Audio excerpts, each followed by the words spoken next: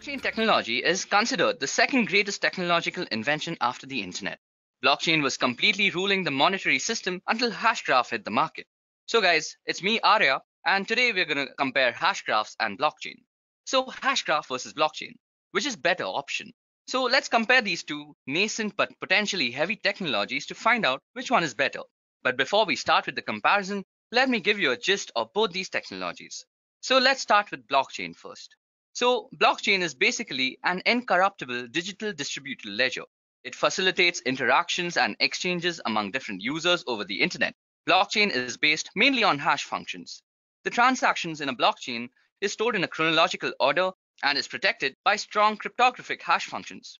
The encrypted blocks are chained to the previous blocks via block hash of the previous block and thus creates a chain of blocks and hence the name blockchain. Now let's go on to hash graphs.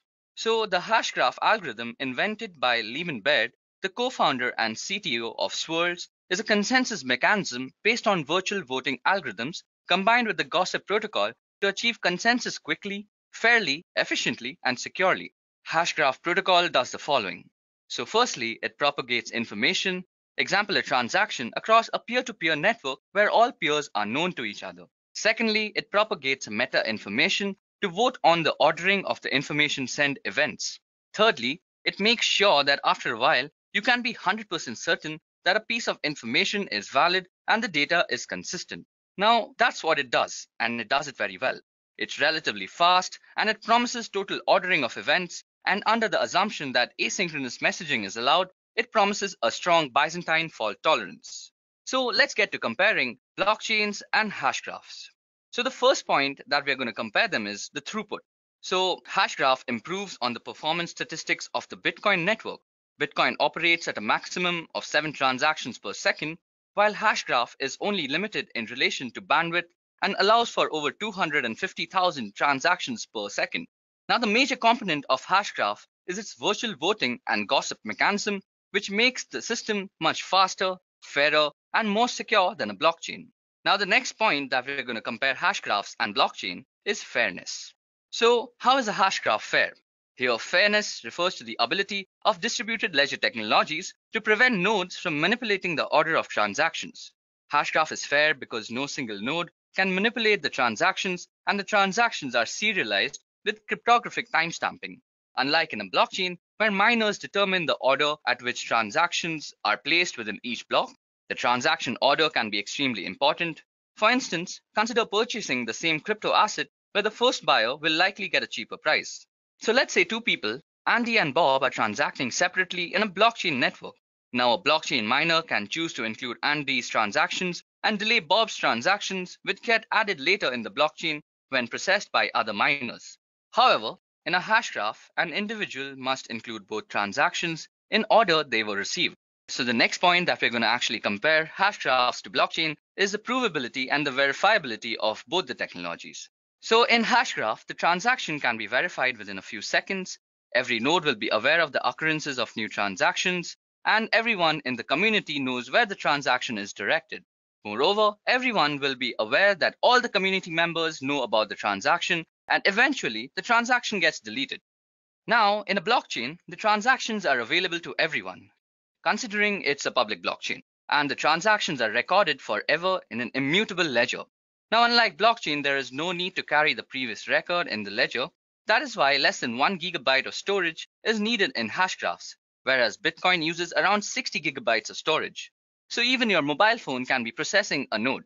Now, the next point that we're going to actually compare hashgraphs and blockchain is a Byzantine agreement. So this term means that no single member can hold up the community from reaching a consensus. It also prohibits consensus from being disturbed, and once consensus has been reached, the smaller group or individual cannot change it, and every member will know that the network has reached consensus.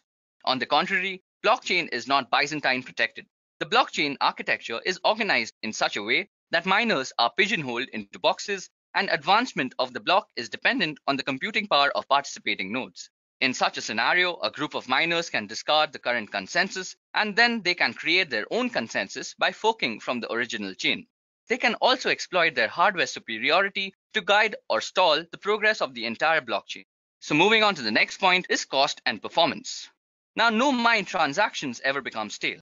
This is because the list of transactions, or what's equivalent to the blockchain, is never discarded by the community. All transactions are utilized to reach consensus, whereas in the blockchain, transactions are put into the containers called blocks that form a single long chain.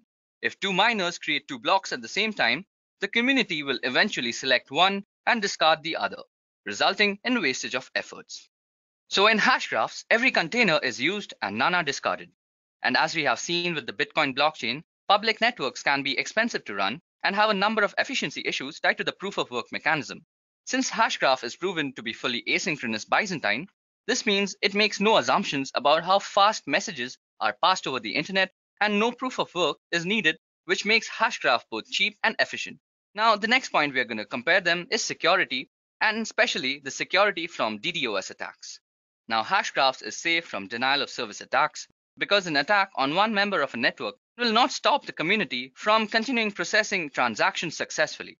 A total DOS attack is impossible as the attacker has to penetrate into every node system at the same time. The blockchain is resistant to DOS attacks as well. So are you guys already having a feeling that Hashgraph is better? Well, give it a thought. Now, despite its obvious benefits, Hashgraph has some way to go before it can boast of the network effects enjoyed by both Bitcoin and Ethereum. So first of all, it's not open source. One of the biggest buzzes about Hashgraph in the community is the fact that it is patented. This means that Leemon Baird decides who can build on it, who can't. For now, while he uses this to build on commercial networks such as a COL ledger. Also currently, it can operate in a permission setting. Today, there is no public distributed ledger, and what will happen when the verification script will have to run at every gossip? There exactly is no clarity. So the adoption process for a distributed ledger seems to be very challenging. Now in the hashgraph protocol, each node has to store the totality of the hashgraph, and we really don't know how restrictive that could be. So overall, when we compare hashgraph versus a blockchain, hashgraph seems like a superior distributed ledger technology, and it has also all the core features of a blockchain. So let us all appreciate the underlying technology in Hashgraph, but not with closed or blind eyes. And while we appreciate Hashgraph, we should also appreciate blockchains which have paved ways to likes of Hashgraph in just the same way they have paved the way for Ethereum, EOS, NEO, and many more. So guys, that was it from me. We compared hashgraphs and blockchains very successfully. Leave a comment down below on what you think will be the better technology. And if you do like this video, don't forget to hit the subscribe button Thank you and goodbye.